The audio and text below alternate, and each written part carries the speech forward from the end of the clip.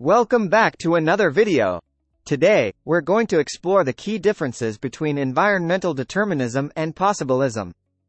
First, let's talk about environmental determinism, the belief that environmental factors are the primary drivers of human society and culture.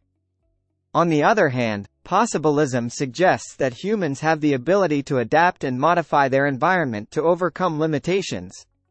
One major difference is that determinism portrays humans as passive recipients, while possibilism emphasizes human agency. Determinism argues that the environment determines the course of human development, while possibilism suggests that humans have the ability to shape their environment. Determinism often leads to a fatalistic viewpoint, while possibilism promotes a more optimistic outlook on human capability. Determinism has faced criticism for being overly simplistic and ignoring the complexity of human behavior, while possibilism allows for a more nuanced understanding of the relationship between humans and the environment. Determinism tends to overlook the influence of culture and social factors, whereas possibilism recognizes the importance of these factors in shaping human societies.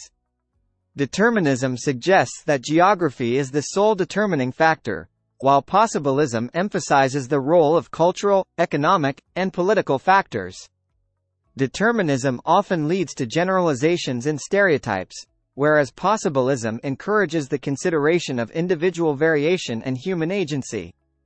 In summary, environmental determinism and possibilism offer different perspectives on the relationship between humans and their environment.